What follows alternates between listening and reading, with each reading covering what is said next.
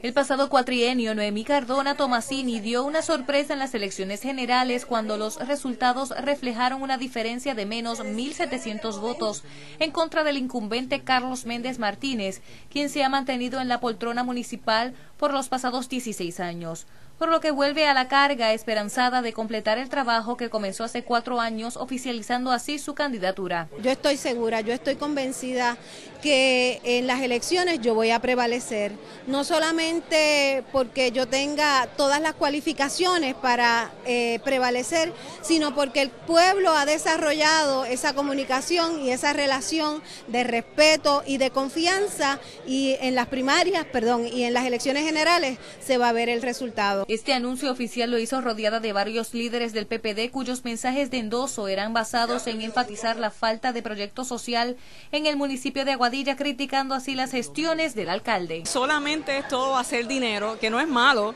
pero la desconexión y el ser parte de ese desarrollo de la gente es totalmente algo eh, fuera de lugar porque ya dejas de ser y ver y sentir como una persona que está ahí por las causas de la gente, eh, sino por las causas de un negocio eh, que solamente eh, llenen tu ego para efectos de poder seguir viviendo. Por otro lado, la aspirante a la alcaldía por el PPD dijo que las investigaciones del FBI que han realizado en torno a un esquema de corrupción orquestado por el recaudador principal del Partido Popular, Anaudi Hernández, y que se han dado bajo esta administración, no deben socavar la decisión del electorado aguadillano. Yo creo que en esta situación hay personas que han abusado de la confianza que se les ha dado, pero ciertamente de ninguna manera esa situación puede ser vinculada a mi persona. Aguadilla me conoce y Aguadilla sabe que yo de frente hago mi trabajo con mucha responsabilidad, con mucha prudencia y sobre todas las cosas velando por el bien público